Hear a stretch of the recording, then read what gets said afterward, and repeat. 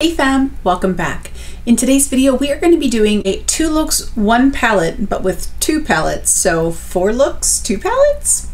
Sounds about right. If you're interested in seeing the looks I created with the Sunrise and Sunset palettes from Natasha Denona, go ahead and stay tuned. We're going to get into it right now.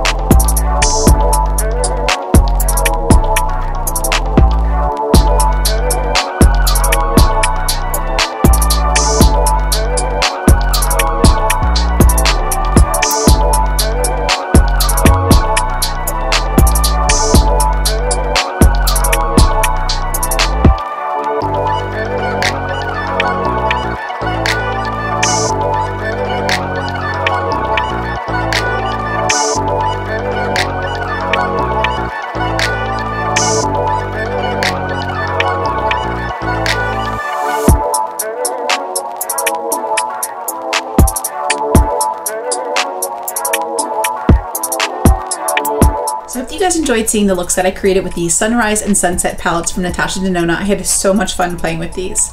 I hope you guys enjoyed this video, and until the next one,